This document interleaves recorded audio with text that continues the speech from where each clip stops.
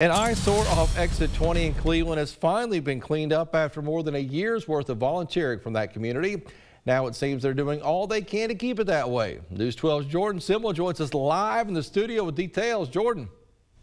Good evening, Andrew. Thank you. Exactly one year ago today, Cleveland City Council members met to discuss bolstering punishing resolutions against those found illegally disposing of tires at dump sites. But before any of that happened, 14 months ago, Amanda Peels was tired of waiting on results and got to work. In late 2021, Peels saw that rubber was no longer meeting the road, but the woods. With plenty of help from the community, what was once a dump site full of more than 8,300 tires has been abated and cleaned of its unwanted mess. I, am so proud of all of our volunteers and all of the support and the effort. I'm very thankful because it's been very tiring, but I'm very happy.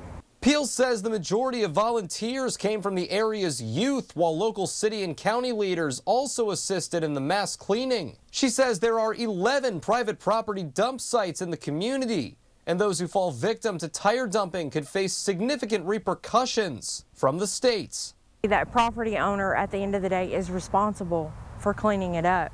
If it's not cleaned up, they find themselves in a situation with the state with the Department of Environment and Conservation for Solid Waste Management to where they can be held accountable. Due to the publicity of the reform's dump site, Peel says the community is now holding tire dumpers accountable and calling authorities far more often if caught in the act. Bradley County Mayor Gary Davis is no stranger to the nonprofit's efforts and says while progress has definitely been made cleaning up the larger dump sites, the county is ready to tackle smaller sites while making laws tougher and finding solutions to the problem. We did have an increase of reports. Hey, I saw this truck carrying these amount of tires going this direction. And now we have a lot of reports of, hey, I saw them at this place. Hey, I saw them at that place.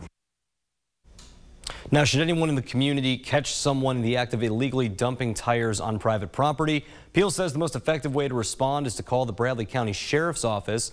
She did say, however, that if all you know is the location of a small tire dumping site, just call her. Reporting live, Jordan Simmel, News 12.